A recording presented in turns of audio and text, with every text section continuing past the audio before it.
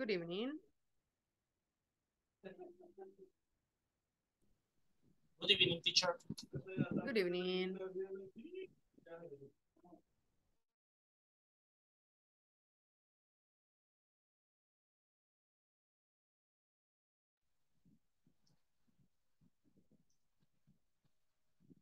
Very hot the day.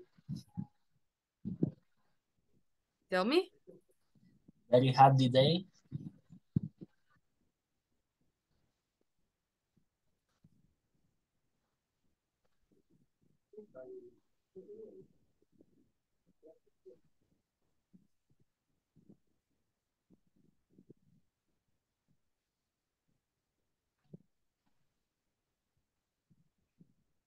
Okay, uh, this is the last session that we have today. Uh, we are ending this week, that is the week number three. So that means that we are going to end with this course the last, uh, I mean, the next week.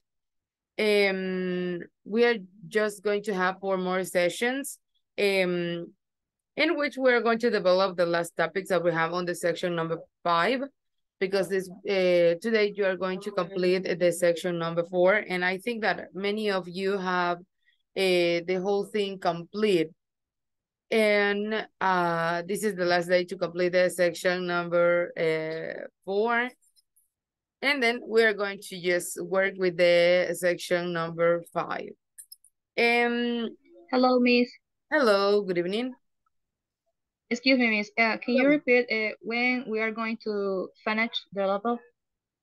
Ah, in this case, the section number four is for today, and the section number five is for the next week on Friday. And what day? On Friday? Oh, Yes, okay. on Friday, because we are going to um have four sessions, but in between, we are going to have a, a rest day that is May 10th, in which we're going uh, not to have as uh the sessions. So in this case, we are going to like have the same thing like this week, and we are going to work on Friday.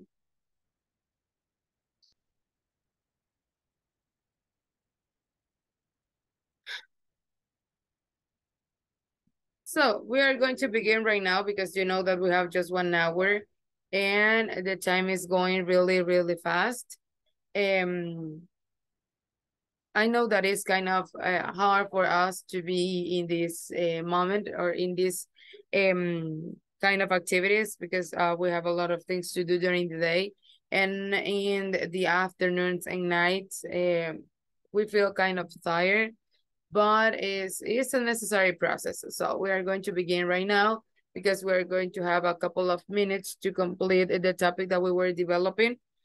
In this case, we were talking about the modifiers. That is the topic that we began yesterday. And we are going to continue with the information that we have.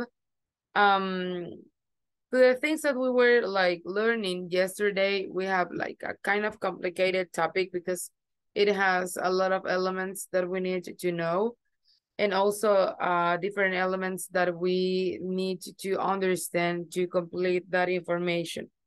We are going to continue from the part that we um, have yesterday. In this case, we were talking about the clauses that act as modifiers. I have some examples to make you like more clear the um, the way in which we are going to apply this information. And through the exercises, I mean the, the examples, I'm not talking about exercises. Through the examples, we are going to understand better what is the information or what is the meaning of the use of the um, modifier phrases and the modifier clauses. Um, ayer pues veíamos el uso de, los, uh, de las cláusulas eh, como modificadores y también de las frases como modificadores. La cuestión es que son un poco complicadas y enredadas, ¿verdad? A la hora de, de aplicarlas, pero a través de la oración o de estos, de estos ejemplos, I mean, no sé qué tengo con ejercicio, quizás quiero dejarles un par de ejercicios, pero don't worry, I'm not going to do it right now. Um, eh, Con estos ejemplos es mucho más claro el uso de estas eh, frases y cláusulas. ¿Por qué? Porque ustedes van a ver cuáles son los elementos extra que le estamos agregando a la oración. So in this case, we need to pay attention to the examples or the statements in which we are going to add information. In this case, I'm not going to mark the modifiers. So in this case, you're going to tell me what is the modifier in the sentence. And that's the thing in which we're going to know if we are understanding the uses of the modifiers. So in this case, I'm going to put the first example and you're going to read the example and you're going to tell me, what do you think it is the modifier? So what are the elements that you can change from the sentence or you can delete from the sentence and you're going to have a complete uh, statement. Vamos a ver la oración vamos a analizar cuáles son los elementos que podríamos nosotros tener en esta oración y cuáles son los modificadores. Ahora, si decimos que una frase o una parte de la oración es el modificador, eliminamos esa parte y analizamos cómo nos queda la oración. Si al eliminar esa parte nos queda una oración completa, entonces estamos en lo correcto. Si nos queda un poco chueca, ¿verdad? Quiere decir que no estamos bien, eh, agarrando bien los modificadores. En este caso, muchos de los modificadores tienen más de dos o tres eh, palabras. En muchos de los casos pueden ser cuatro, pueden ser tres, o puede ser una frase bastante larga. So, in this case, I'm going to show you the examples, and you are going to analyze the parts that they have. And also, what are the different modifiers that we have in these examples. So we are going to begin here with the examples. And the first thing is that we're going to begin with modifier phrases. Son frases modificadoras.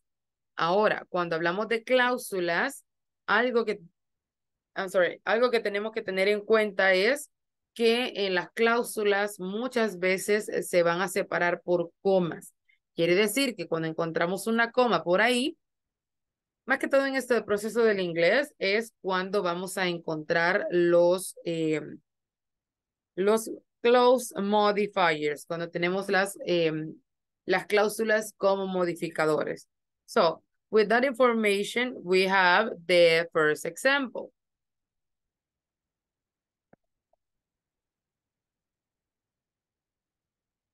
In the first example, we have the following. We waited until the last minute to mention our concerns. We waited until the last minute to mention our concerns. So we have this uh, example. We waited until the last minute to mention our concerns. You can take your time, in this case, a minute or two, to see what is the modifier in this example. Podemos leer la oración, eh, partirla, ¿verdad? En partes y analizar cuáles son los elementos extra que le agregamos a esta oración. En este caso, le voy a dejar un minuto, ¿verdad? Un minuto o dos para que analicen esta oración y vean cuáles son las partes que podríamos utilizar como modificadores. So, read the, the statement and then you're going to tell me what is the part in which you consider um, we have our modifier or phrase modifier.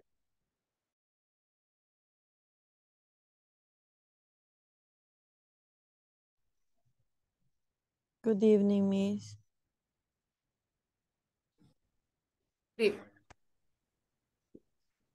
Until is working as a modifier there. Okay, tell me. Until is, Ah. is working like, like a modifier. Mm, Yes, but in this case, Yeah. it's a modifier phrase. So you have uh, more than one word. You have the, the first one, Mm. until, but you need something more. Mhm, Okay. So right now we have a clue. All of us have a clue because she said that until is one of the modifiers. So with that um, word, you can imagine what is the whole modifier. What do you think?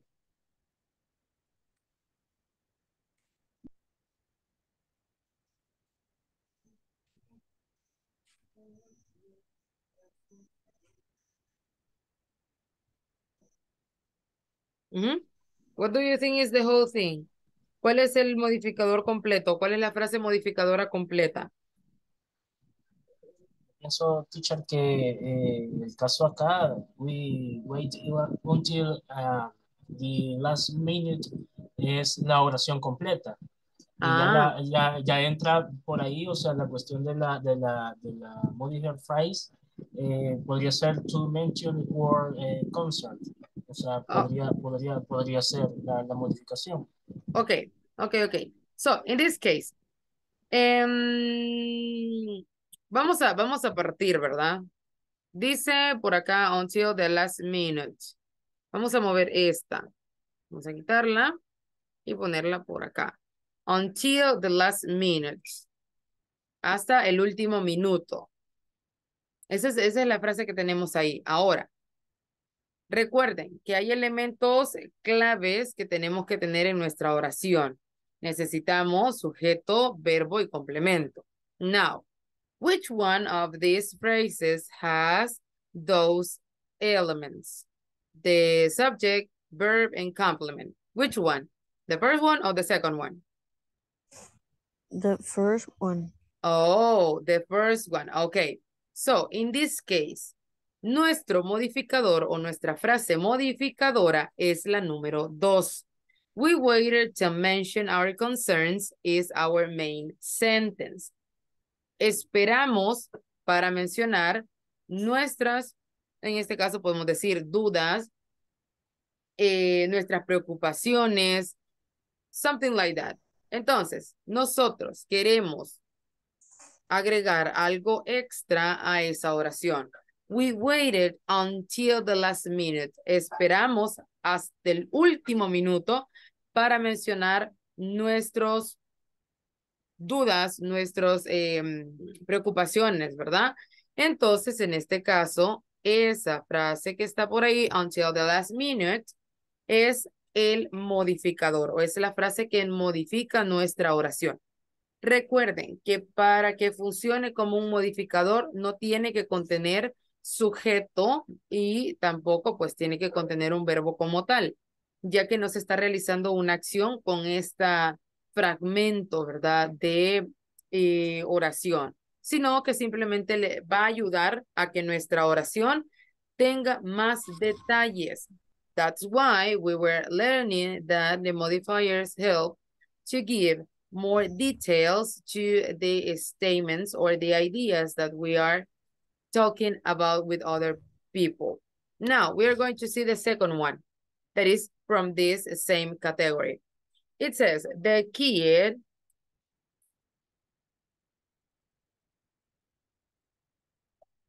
with green sneakers kick the ball. The kid with green sneakers kicked the ball. In this phrase, what is the modif uh, I mean, which of the parts of the statement is the modifier or the modifier eh, phrase? ¿Cuál es la frase modificadora de esa oración? The kid with green Green sneaker. sneakers kick the ball. Tell me. Green sneaker. It, and I said the ball, the ball. Okay, so we have the answer already. With Um, green sneakers. uh-huh. That's the Mhm. answer. Green sneaker. Exactly. Green sneakers. Exactamente. With green sneakers. Ya teníamos la respuesta, ya teníamos el, el dato, ¿verdad? The kid with green sneakers kicked the ball. Entonces, si yo le quito with green sneakers, yo tengo esta oración. The kid kicked the ball. El niño pateó la pelota. And it's a complete sentence. Porque yo tengo mi sujeto, the kid, el verbo eh, kicked, y the ball es el complemento.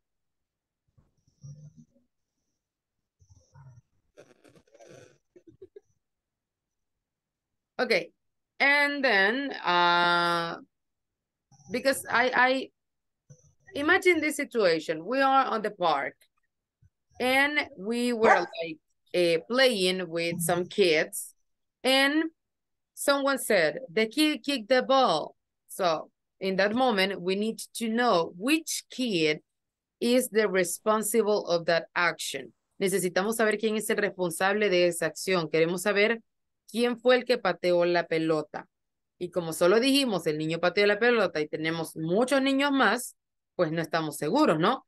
Pero en el caso de que yo diga lo siguiente, the kid with green sneakers kick the ball.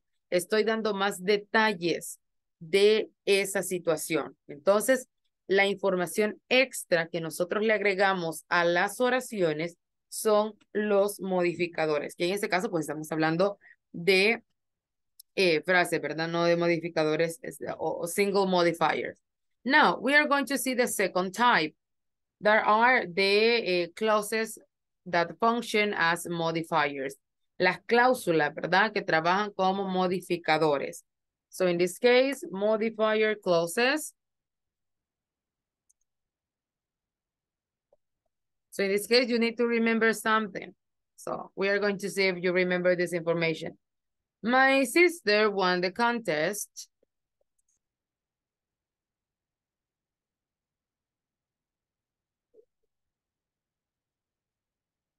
as she had hope.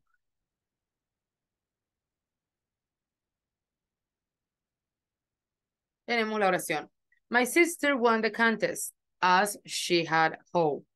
¿Cuál de esas dos partes es el eh, modifier clause? ¿Cuál es la cláusula que modifica?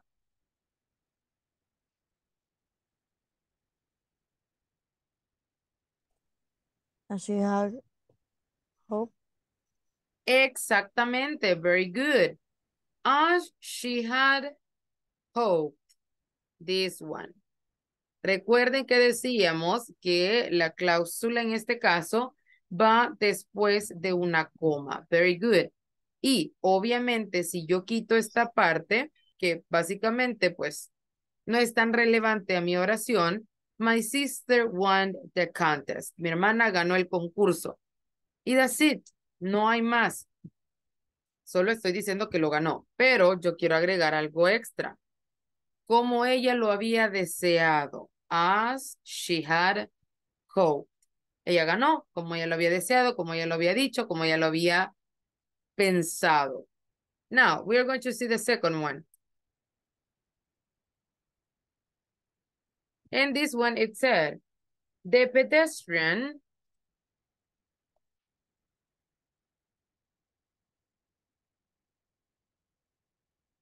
who had been waiting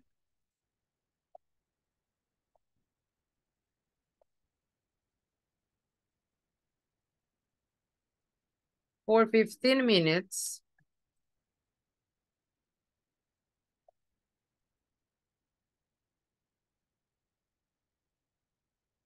didn't step aside.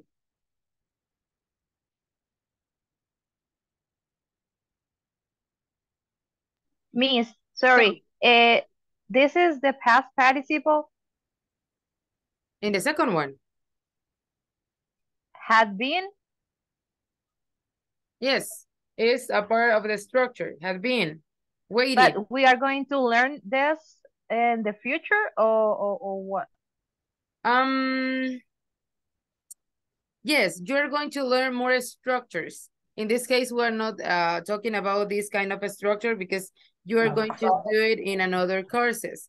In this case, when we're talking about the different elements that we are going to learn, um, at the beginning, you learn about the simple, uh, present simple and different elements of the present. Then you are going to uh, learn something about the past. In this case, when we're in different courses, you are going to uh, talk about the uh, structure of the tenses that we have in, in English. Um, and it is not just one time. You are going to see it uh, in different um, courses because you need to, to be very clear about the use of the, the tenses of the, the structures. In this case, in this course, we are going to talk about the present perfect the next week. So you, if you can see on the platform, you have uh, these elements and we are going to talk about the present perfect. Um, but we are not going to have the different uh, structure because you know that we have three different tenses, the, the past, the present, and the future. And every single tense has four different parts. Cada uno de los, eh, de los tiempos, ¿verdad? Que nosotros tenemos en inglés, tiene cuatro partes diferentes. Entonces, eh, en algunos casos sí vamos a ver lo, los cuatro elementos de ese tense, pero nosotros vamos a hablar del presente perfecto la próxima semana. Vamos a conocer la estructura del presente perfecto, pero en el futuro ustedes van a seguir con diferentes estructuras y diferentes tiempos. Y también vamos a ver algo del futuro, del will y todo eso. También vamos a hacer como un review del simple past la otra semana. Así que en ese caso sí tenemos esas estructuras. Solo que no las vamos a ver todas en este, en este módulo, pero sí lo van a ver quizás más adelante. Se van a ir haciendo como los reviews de los tenses. Okay, what is the uh, clause that is function as a modifier in the second example? Who had been waiting for 15 minutes. Very good, excellent. Who had been waiting for 15 minutes. Is very long, very, very long uh, sentence. In this case, it's not just like a fragment. It's kind of long. Pero seguimos viendo, ¿verdad? Elementos. Who had been waiting for 15 minutes. En este caso no tenemos un eh, sujeto como tal. El who puede funcionar como sujeto as a subject, pero se hace referencia a quién? The pedestrian, que es el peatón, ¿verdad? Que estuvo esperando 15 minutos, pero no cruzó la calle en este caso, ¿verdad? So in this case, the pedestrian didn't step aside. Es nuestra oración completa y who had been waiting for 15 minutes is the um the modifier in this uh, example. Now, we are going to see how are modifiers structured. Cómo se estructuran o cuál es la estructura que nosotros podemos ver en esta parte de los modificadores. So we are going to talk about structures.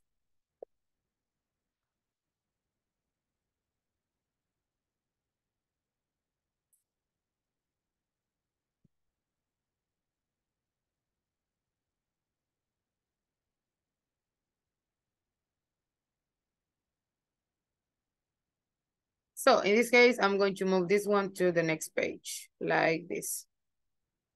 And it says that the modifiers are placed right beside the noun. They are uh, the noun that they are modifying. Usually, this means right before or after the noun. Quiere decir que tiene que estar muy cerca del nombre que está modificando. Eh, no es como decir, ah, yo puedo poner mi modificador allá al final de la oración, ¿verdad? Sino que tiene que estar justo a la par, ¿verdad? Ya sea antes o después del nombre que modifica, pero tiene que estar a la par, porque si no, se pierde, ¿verdad? Ese eh, significado y cae como en un, en ambigüedad se le llama, ¿verdad? Cuando no tiene un significado claro cuando estamos utilizando ciertos elementos. So in this case, is right beside the noun it's modifying. So in this case, you need to remember that you have the modifier, the modifier clause, the modifier phrase, right beside the noun that you are modifying or in which you are giving more information.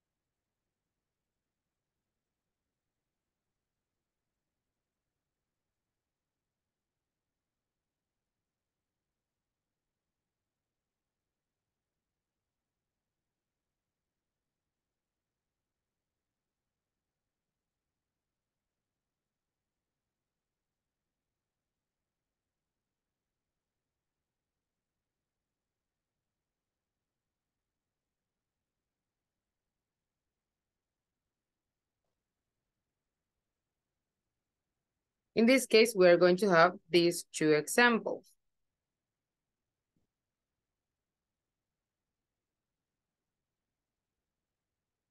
Example number one, and it says, my cat, but we're talking about a cat. So in this case, we're going to add like um, a specification about the animal that we are uh, using in this example. So uh, we are going to say something related to the animal. But give me a moment.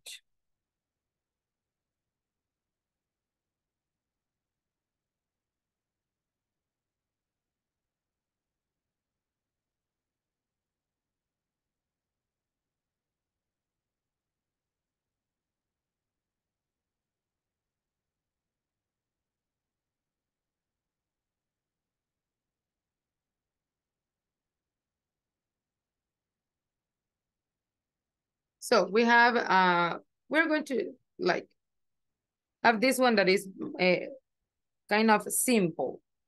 This one, the girls order a pizza without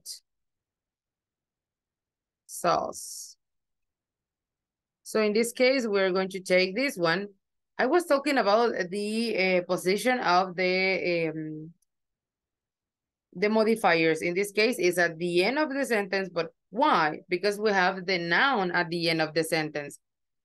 Como tiene que ir siempre a la par, no es que simplemente yo lo voy a colocar donde yo quiera, sino que tenemos que ver exactamente dónde está posicionado el nombre que estamos modificando. En este caso, yo estoy modificando la palabra pizza. Y obviamente va al final de la oración porque dice, the girls order a pizza. Las chicas ordenaron una pizza y agregamos without sauce, sin, y ahí estamos especificando con qué o sin algunos elementos, ¿verdad? So in that case, we have that information in that place. In the case that we have the noun that we are modifying at the beginning, so in that case, you have the modifier at the beginning. Then it says that this is also true when they are modifying a verb or adjective. También podemos utilizar estos uh, modificadores no solo para modificar nombres, también en algunos casos podemos utilizarlo para modificar lo que son verbos o adjetivos. Ustedes saben que en inglés pues um, es una construcción un poco, eh, I don't know, like complex, because in some cases we have um, the same words to express different things. And in this case, these kind of modifiers are going to modify not just nouns, but also we are going to modify verbs or adjectives in some cases. So it is not like a surprise that we can change the meaning of the things or we can use the same thing for another. Um, and that's why it's kind of complicated for us. En este caso, pues no simplemente va a modificar un nombre, sino que a veces puede modificar verbos y también adjetivos, que pues obviamente lo utilizamos de diferentes formas. Inglés es como un reciclaje prácticamente, se reciclan muchas palabras y las utilizamos para diferentes formas o diferentes cosas. So in this case, it's like very normal to see this, this kind of things.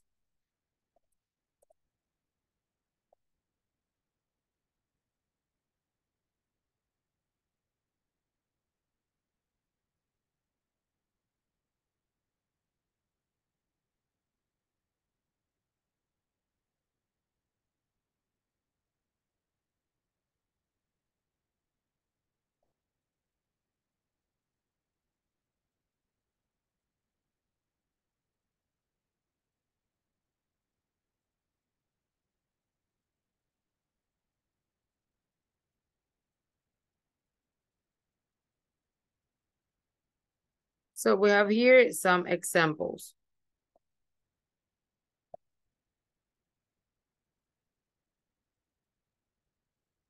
And in this case, we have, he bought a bright blue van.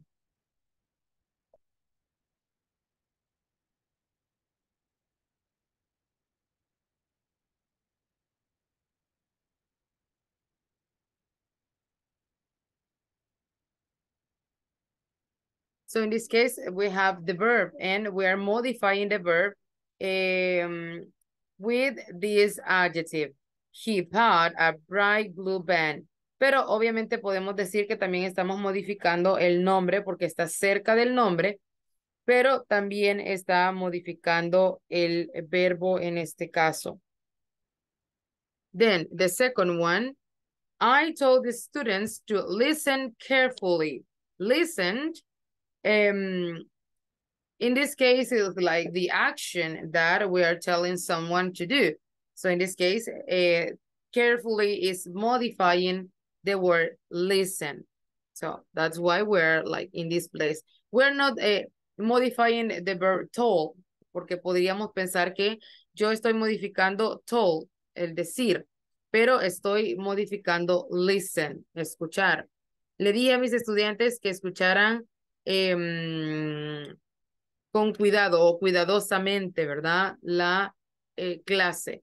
So that's the moment in which I am modifying my uh, another verb, that is the second verb that I am using in this sentence.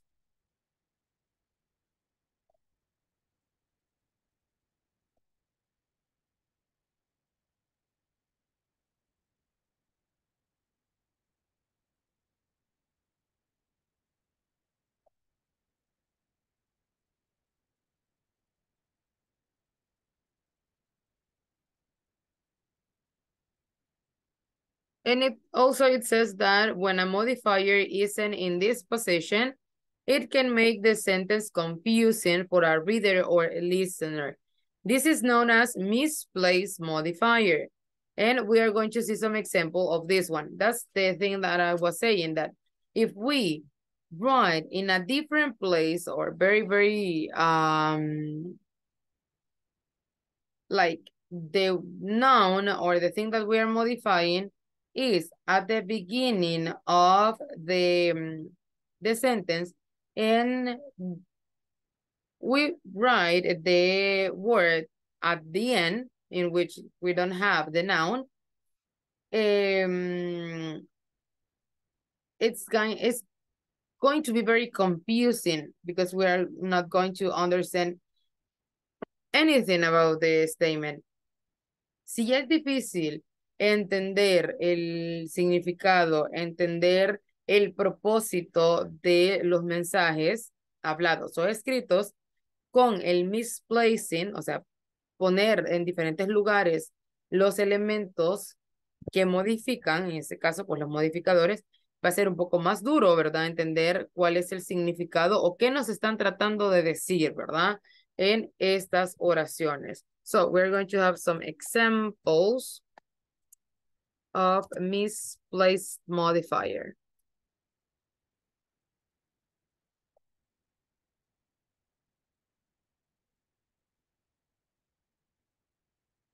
And in this one, we have the first one.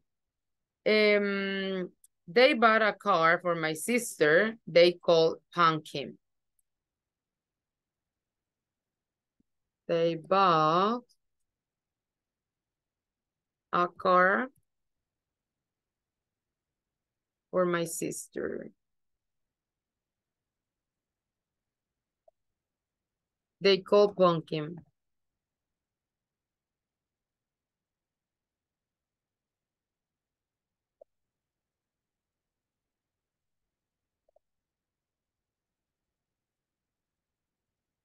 They bought a car for my sister. They call Pumpkin. Ahora, si nosotros traducimos esa oración, dice, ellos le compraron un carro a mi hermana, ellos llamaron a Calabaza. What? What is the meaning of this statement?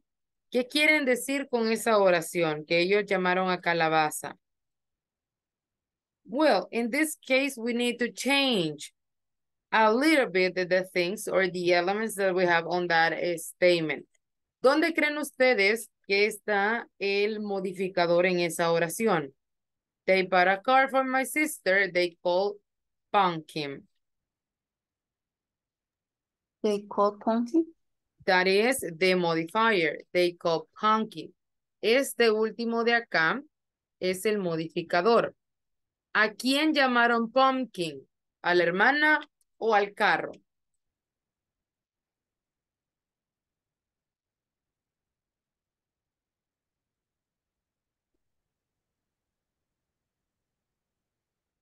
Carmis. Al carro. Ajá, very good. The car, that is the name of the car, pumpkin. Ahora, vamos a arreglar esta oración y nos quedaría de esta manera.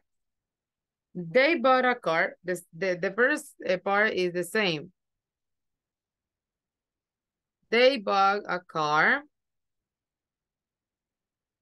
Y aquí metemos el modificador, pero con un par de elementos extra. That they, que ellos, called pumpkin.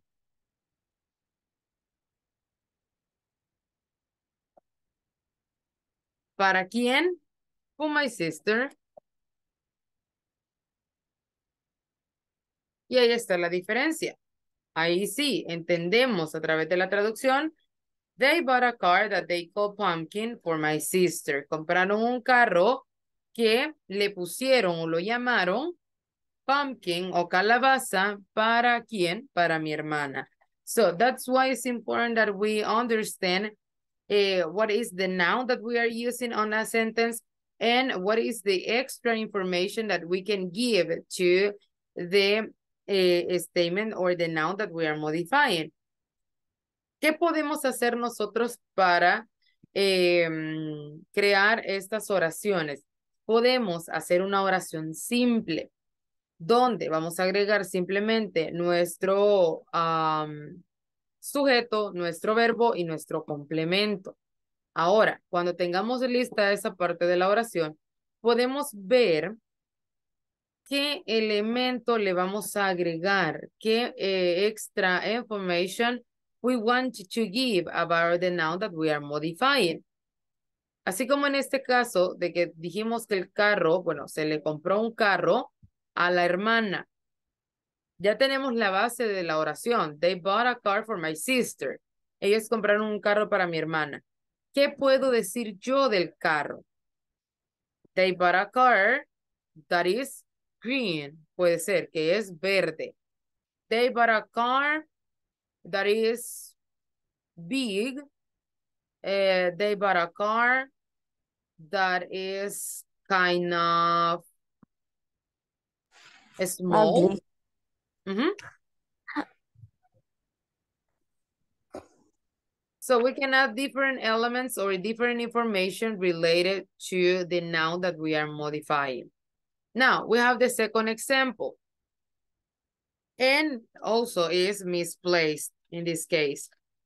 So, in the second example, we have, we built a house for them out of bricks. We built a house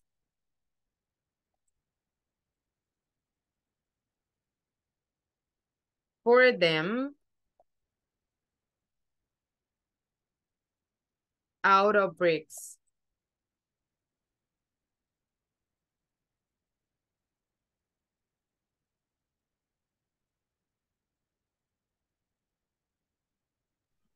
Means the, Okay. the meaning of bricks. Es el am, ladrillo.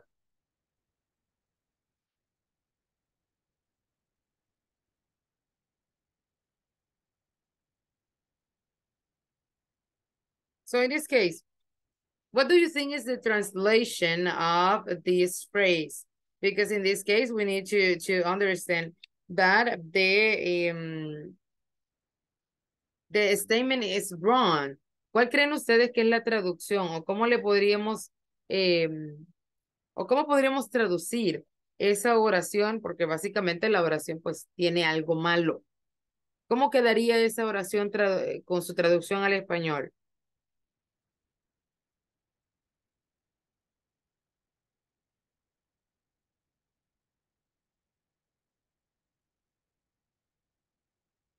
Construimos una casa para ellos. Ajá.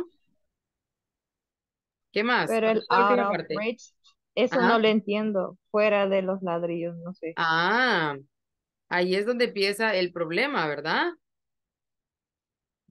out of bricks, si De nosotros ladrillos. Ajá, podríamos decir sin ladrillos o fuera de los ladrillos.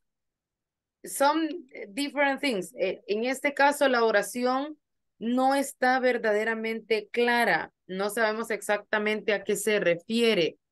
Yo puedo decir, yo le construí una casa a ellos con ladrillos. That is uh, something very basic, ¿no? De decir, yo lo hice con ladrillos o con algún otro material. Pero en este caso, esta oración no está clara. ¿Por qué? Porque podemos llegar a pensar, did they run out of bricks? ¿Se les acabaron los ladrillos? Or did we build a house using bricks? O nos referimos a que construimos la casa con ladrillos. O did they previously live in bricks? Que ellos previamente vivían en los ladrillos, ¿verdad? Entonces, estas, estas oraciones no están completas, no están em, dando el significado original que deberíamos de tener. Entonces, ¿cómo nos quedaría la información ya arreglando esta oración? Va a ser, ah, en este caso, un movimiento mínimo, porque no es que le va a cambiar mucho la traducción, solo que va a aclarar básicamente em, cuál es, ¿verdad? El, el verdadero significado o la imagen o la idea que queríamos dar. En este caso vamos a volver a utilizar los elementos. We built a house. With bricks. Mm, yes, but we're going to s- use the same uh, thing. Out of bricks for them. Out of bricks.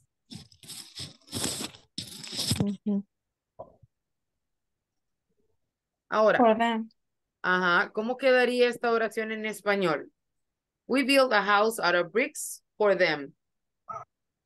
Construimos una casa de ladrillo para ellas. Exactamente, construimos una casa de ladrillos para ellos. Y allí estamos especificando que construimos la casa con qué material. We build a house out of bricks for them. Yo le construí una casa a ellos con ladrillos. Miss, Tell me. Miss, el, el Arab no entiendo, o sea, el, el significado. Ok, en, en este caso, pues, así como les decía, ¿verdad? En inglés ah, se puede como reciclar muchos de estos, ah, de las frases o palabras que nosotros tenemos y ponerlas en diferentes contextos.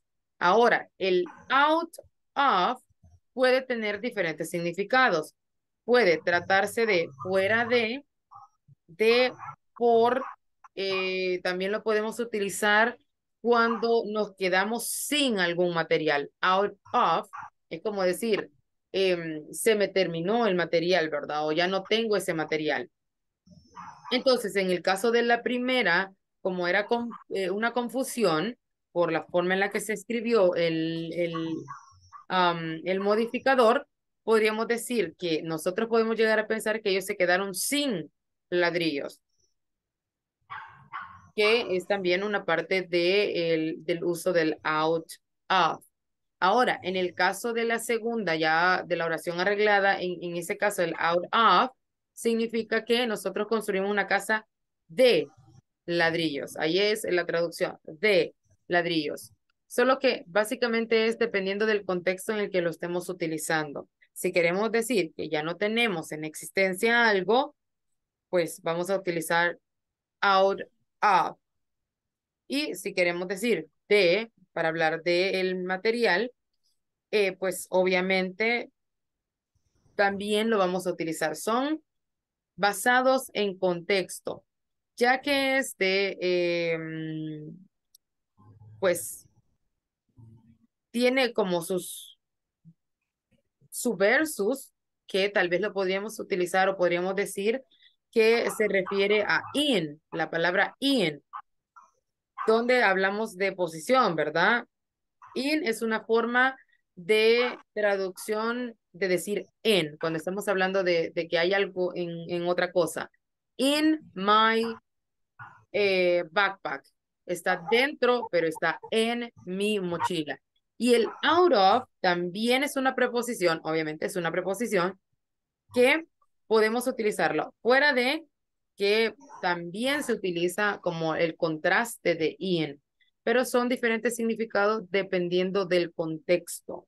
Así que en este caso el primero es sin o quedarnos sin algo, sin algún material y en la segunda oración es de para referirnos al material que utilizamos.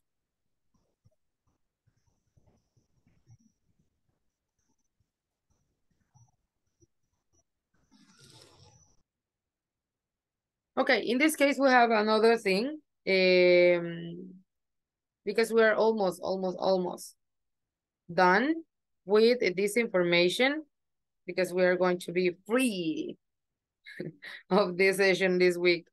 Um, we're going to see something that is called squinting and dangling modifiers. So in this case, we're talking about this one that is called squinting. Son nombres que tal vez no estamos muy familiarizados, que son estos de por acá. Squinting and dangling. Miss, uh, I had a question. Eh, en English, cuando uno junta dos palabras y significan un nuevo significado, perdón, ¿Ese cómo se llama? Por ejemplo, tour off, tour off, grew up. ¿Cómo se llaman esos en inglés? Ok, así como estábamos diciendo ayer que tenemos los eh, verb phrase, los noun phrase, esos donde se unen más de dos elementos o pues llamados así, ¿no? Tiene que ver con qué parte del discurso son. En el caso de que sean dos nombres que se unen para formar un nuevo significado, son noun phrase. Sí, son dos verbos que se unen para tener un nuevo significado, pero que siguen funcionando como verbo, son los verb phrase. Eh, ya veíamos los... Uh, sí, creo que estábamos viendo lo de los noun phrase y algo por el estilo, pero son dos palabras que se unen para tener un nuevo significado, dependiendo de la parte del, del discurso, pues son adverbial, em, y ahí no entraría entonces el out of. Sí, entra, porque acuérdense que decíamos que es un adverb y son adverbios que separados, pues cada uno tiene eh, su, su significado, su traducción, pero que unidos pueden llegar a tener como otro significado. Había un ejemplo, si no me equivoco, más arriba. Eh, déjenme ver por dónde estaba esa parte.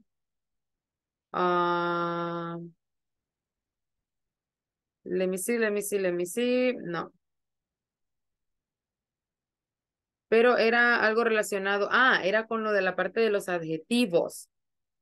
Donde veíamos un ejemplo que les dije igual, que les iba a compartir a document in which you are going to see this part of the, uh, that is this one, the compound adjectives que también tienen que ver con esto de los noun phrases y cosas así, que son los adjetivos compuestos, donde utilizamos dos adjetivos para darle un nuevo significado, que es este de por acá, donde veíamos la, eh, la palabra well known, que decíamos que ya al unirse, pues, habla de reconocido, pero por separado, pues, eh, se eh, traduce bien conocido. Entonces son como palabras que al unirse, así como decía usted, pues tienen un significado nuevo. Y pues hay un montón, porque sí hay un montón de estas, de palabras, ¿verdad? Que unidas dan un nuevo significado. But I'm going to show you, I mean, I'm going to send to you a document that is like, um, have this kind of information because you know that uh, there are a lot of things that we don't know um, about the the English language because they have a lot of things, así como también las frases específicas, ¿verdad? Que ellos utilizan uh, para referirse a, a, a, diferentes cosas, que es el cambio que se le hace, ¿verdad? A lo de de algunas, uh, ¿cómo se le llaman a estos modismos? No, it is not like, No son los modismos, sino que son frases. Idioms? No. Ah, that's the thing, the Los idioms. idioms? Yes. Son los idioms que a veces nosotros decimos, ¿y qué quiere decir esta persona? Pero nosotros también lo tenemos en español, ¿verdad? Que son los, los, las palabras básicas o frases específicas que nosotros utilizamos en español, eh, así como decir, el camarón que se duerme se lo lleva la corriente. Y es para decir que alguien, pues que no se pone los, como nosotros decimos, las pilas, pues se va a quedar atrás. Ellos también tienen muchos de esos y a veces son frases un poco raras, pero que, eh, pues, los definen a ellos. Y son bastante divertidas también. Ok, en este caso del squinting and dangling modifiers, se refiere, ¿verdad? A un tipo de modificador que está mal colocado en la oración. This squinting modifier makes the meaning of a sentence ambiguous, que es lo que le decía. Tiene un significado ambiguo gracias a que no colocamos bien la, los modificadores, ¿verdad? No, no colocamos bien los elementos básicos de, un, de una oración. Y vamos a ver más o menos a qué se refiere esto, porque sabemos que es un poco complicado, it's kind of complicated to know exactly in which place we are going to add all the things. I know that in some uh, point, um, we are going to master this information. We are going to see, um, like, ah, I know that information and it's very, very easy for me uh, because I uh, know everything. That is the, the, the thing. But we are like learning how to use this information. In some cases, we can make some mistakes. That is very normal.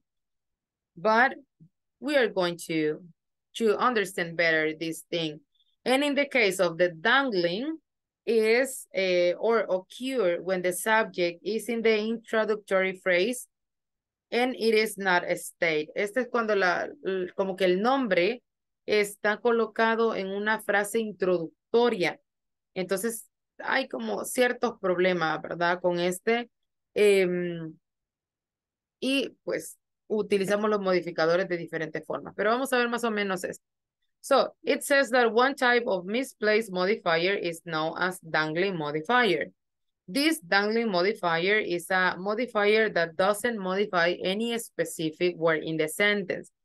Quiere decir que yo puedo tener diferentes palabras en mi oración y no sé exactamente, ¿verdad? O no le doy como un uso específico a ese modificador. O sea, quiere decir que yo no le estoy dando un nombre específico para modificar, sino que, eh, pues, nada más da información extra, pero no de un nombre específico. Así que lo podemos entender como que si fuera de la oración en sí. So, a dangling modifier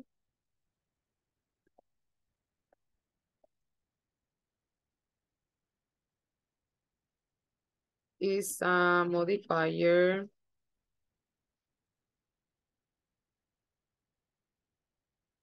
that doesn't modify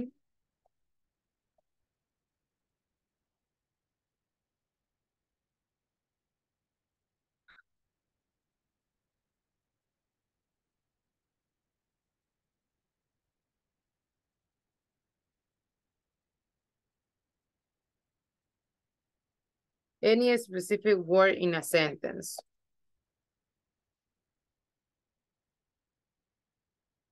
So we're going to see this example.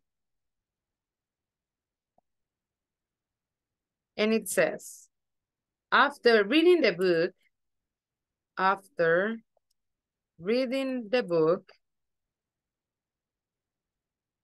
the movie was great.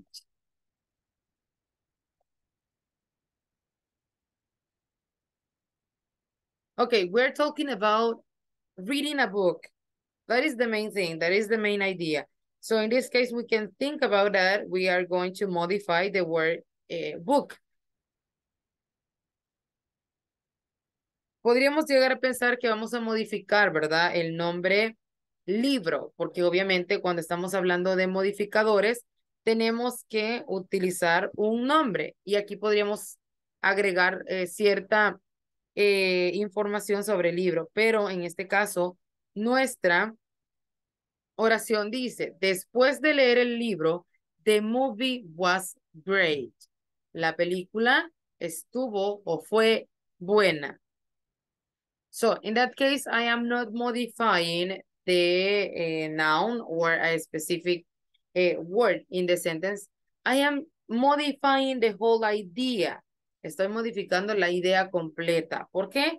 Porque estoy diciendo que yo me leí el libro, o sea, yo leí el libro y después de haberlo leído, yo encontré la película buena. Porque tal vez uh, the first time that I saw the movie, I didn't understand anything because I have like some ideas that are not completed in my mind. But after reading the book, the movie was great. Porque en este caso, esta, the movie was great, is the modifier. But this one is a dangling modifier because it is not modifying a noun. Aquí básicamente no nos vamos a basar en el nombre, sino en la idea en sí y así vamos a modificar esa idea. Next one. Um, before leaving, a squirrel crossed the sidewalk. Before leaving, a squirrel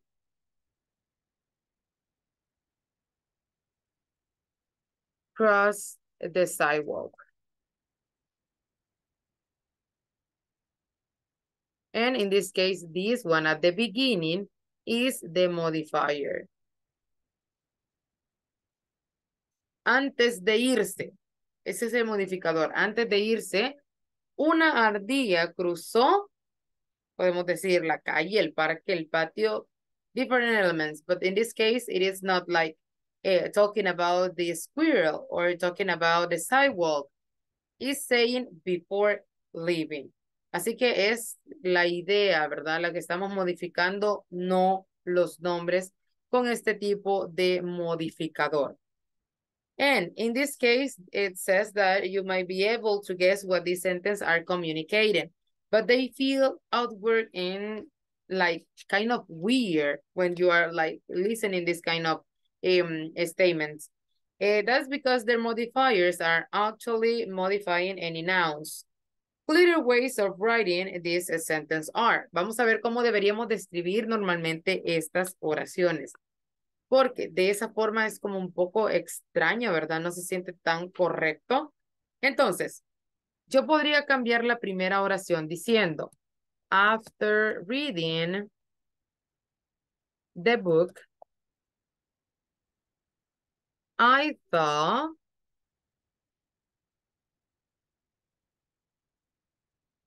I thought the movie was great.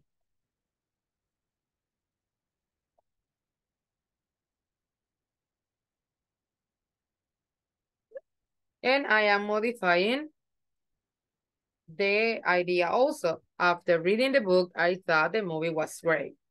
Después de leer el libro, pensé que la película era buena.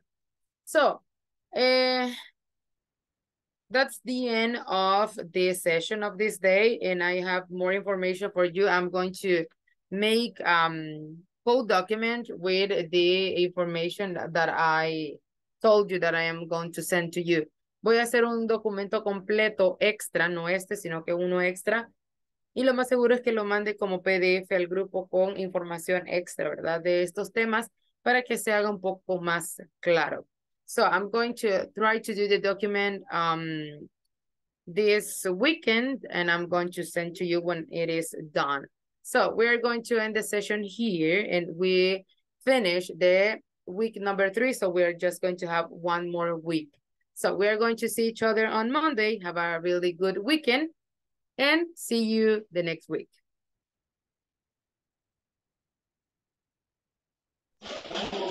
Good night. Good night. Good night. Good night.